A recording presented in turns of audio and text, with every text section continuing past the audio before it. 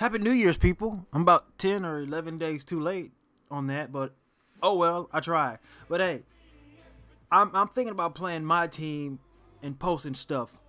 Stuff I need. I don't know. I just feel like I'm doing all right so far. I'm in like the. Let me see. The Ruby League. I mean, it's all right so far. My team is 92. It might be fun. It well, 2K's been stressing me out lately, so that might not be great. But I'm thinking about it. Bye.